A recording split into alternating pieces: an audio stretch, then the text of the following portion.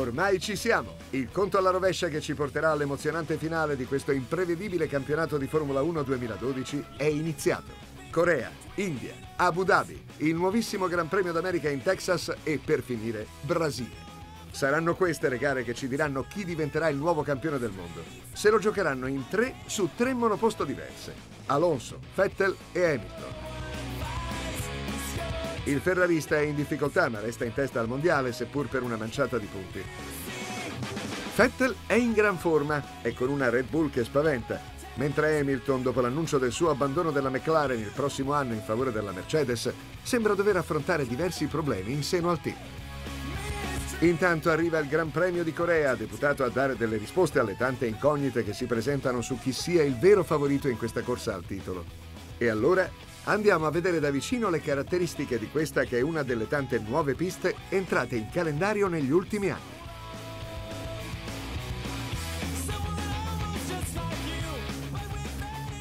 L'impianto si trova nella provincia di Yeolla, precisamente nella contea di Yeongam, a circa 320 km dalla capitale, Seoul, e sorge su una superficie abbastanza pianeggiante, con una parte adiacente al porto marittimo.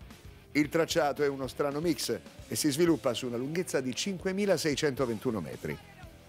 Presenta una prima parte molto veloce con due importanti allunghi, il primo di circa 500 e il secondo di ben 1200 metri, in cui potrebbero esserci delle battaglie a suon di staccatone, ma anche una serie di curve e cambi di direzione nella seconda e terza parte che sembrano fatte apposta per rendere impossibili i sorpassi. I due lunghi rettifili però tra KERS e DRS dovrebbero davvero farci divertire.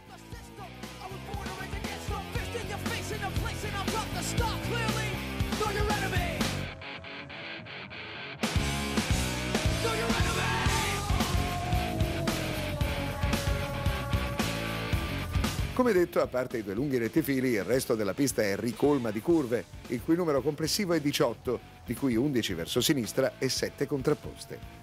Il tracciato sudcoreano racchiude due differenti layout. Infatti, dalla curva numero 3 parte un troncone che va ad agganciarsi alla numero 12, con una parte di utilizzo temporaneo e una permanente. Nella prima, quella adiacente il lungomare, oltre allo scalo merci portuale, vi sono edifici commerciali, ristoranti e hotel in funzione tutto l'anno. L'intera struttura dovrebbe avere una capienza di oltre 130.000 spettatori.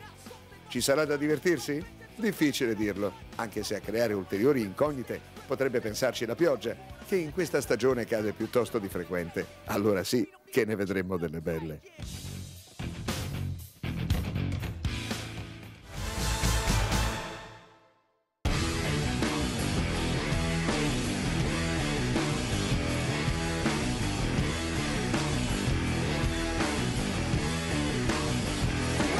Diciamolo chiaramente, ormai tutti noi eravamo concentrati sul duello Hamilton-Alonso che avrebbe dovuto infuocare il finale di stagione. Lo spagnolo e la sua Ferrari lì davanti a far da lepre e il caraibico a rincorrere forte di una McLaren che sembrava davvero imprendibile. Peccato che un po' tutti ci si era dimenticati del terzo incomodo, e cioè di Sebastian Vettel e della sua Red Bull. Una dimenticanza che sembrava suffragata dalla logica. D'altronde, ancora in quel di Monza, la Red Bull del tedeschino arrancava, senza velocità di punta e con i problemi all'alternatore che l'hanno costretto al ritiro. Poi, a Singapore, un deciso miglioramento si era già visto, ma la McLaren sembrava ancora lontana e solo il ritiro di Hamilton aveva spianato la strada al successo di Vettel. In Giappone però è arrivata la definitiva resurrezione, con una gara, quella di Suzuka, dominata dall'inizio alla fine. Un'evoluzione quella della Red Bull, che può spiegarsi semplicemente come un miglior adattamento a circuiti radicalmente diversi? Forse, ma in realtà pare che la spiegazione sia un'altra. La trovata, opera ovviamente del solito Adrian Newey, sta nel sistema di doppio DRS messo a punto e impiegato, a quanto pare, già nella vittoriosa trasferta di Singapore, in pratica si tratta di un buco in ciascuna paratia dell'alettone posteriore attivato dal flap principale quando il DRS è azionato. Buco che canalizza il flusso d'aria attraverso le paratie e alimenta la sezione centrale di 15 cm del diffusore al fondo del supporto dell'ala. Una soluzione che sembra davvero aver messo le ali alla monoposta austriaca, aiutandola molto in termini di velocità di punta, il vero punto debole finora della RB8.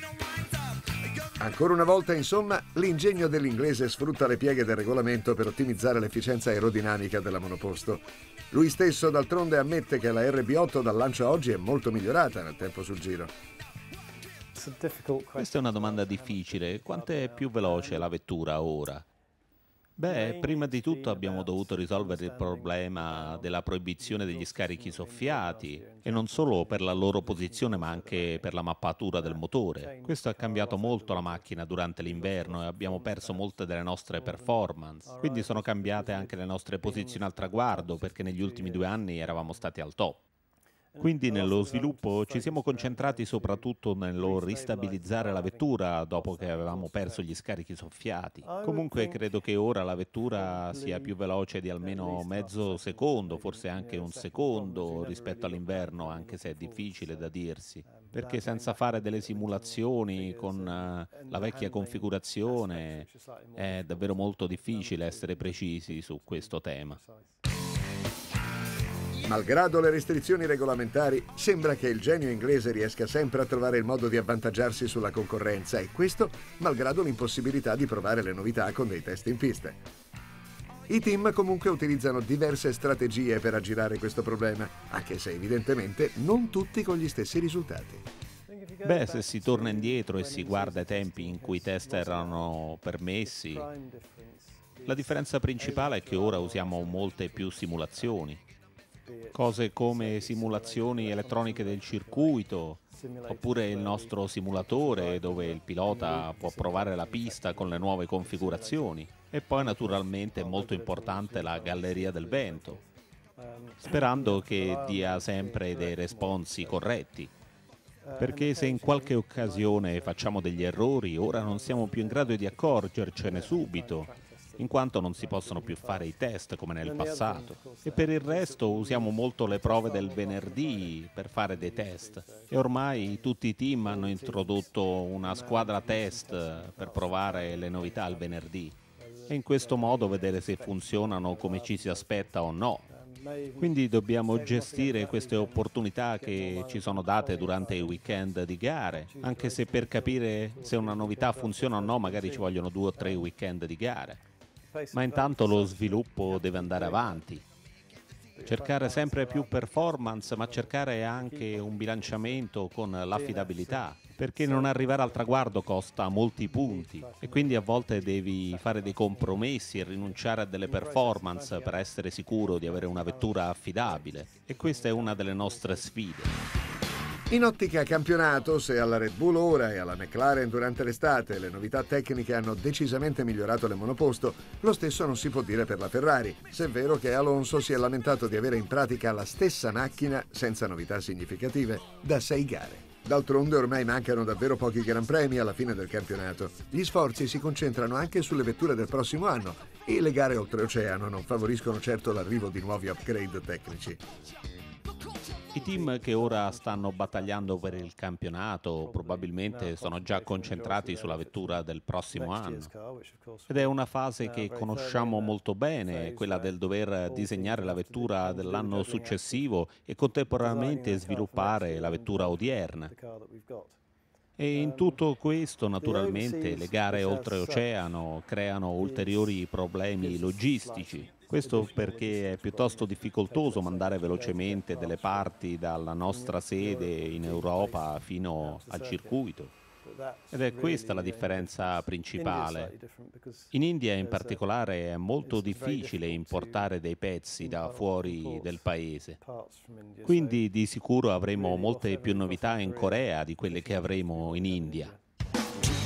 Insomma, ci dobbiamo aspettare qualche altra novità vincente dal tecnico inglese? A Maranello e non solo, si spera proprio di no, anche perché le cose sembrano già abbastanza difficili così. Di fatto, il trend favorevole iniziato da Vettel a Singapore, a meno di ulteriori ribaltoni, sembra poterlo condurre dritto al terzo titolo mondiale consecutivo. Eppure la storia di questo 2012 ci ha insegnato una cosa. Come diceva Trapattoni, mai dire gatto se non lo hai nel sacco.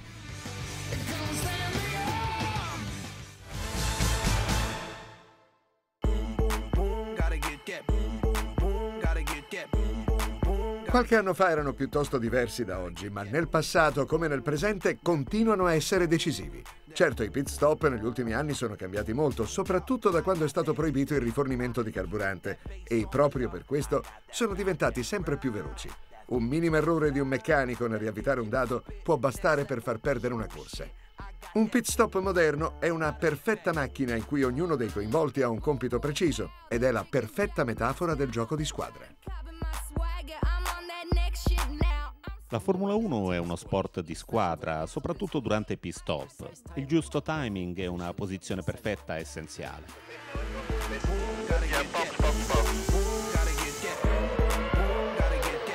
Arrivo ad 80, a volte 100 all'ora e devo frenare e fermarmi e arrivo davvero vicino ai ragazzi della pit. Quindi devono davvero fidarsi di me perché devo essere molto preciso per la loro sicurezza. Auto veloci e persone che ci girano intorno sono un mix pericoloso, qualcosa che avete già visto nel traffico. Durante l'inverno ci alleniamo facendo 40 o 50 pit stop al giorno per un periodo di 6 settimane. Come arriva la macchina, ancora prima che si fermi sono già collegate le pistole e bisogna togliere le gomme il più velocemente possibile possibile, di solito in meno di un secondo.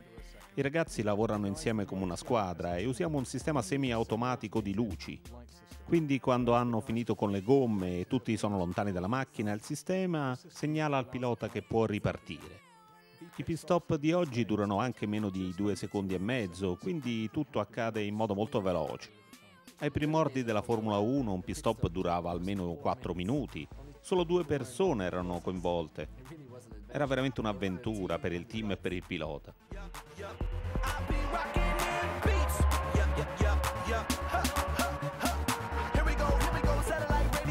Si faceva anche rifornimento, una pratica ora proibita.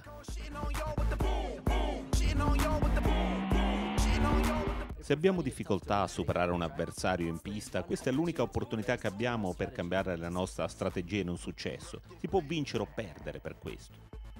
In effetti i pit stop oggi vengono spesso usati per superare un avversario o in maniera tattica per rientrare ed avere pista libera davanti in modo da avvantaggiarsi.